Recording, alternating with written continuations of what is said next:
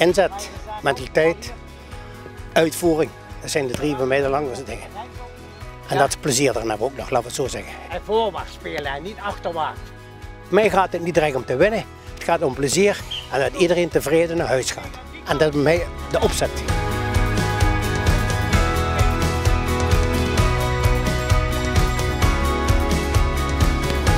Ja, ik doe wel nog bal plaatsen, doe ik wel nog.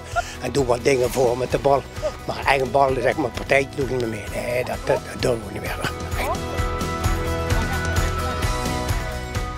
Ik vind het leuk, plezier met kinderen. Mijn kinderen vind ik leuk werk. Dat heb ik altijd gedaan, al die jaren. In die 40 jaar voorheen heb ik ook altijd senior getraind en jeugd. Dus mijn vrouw vond het toen goed.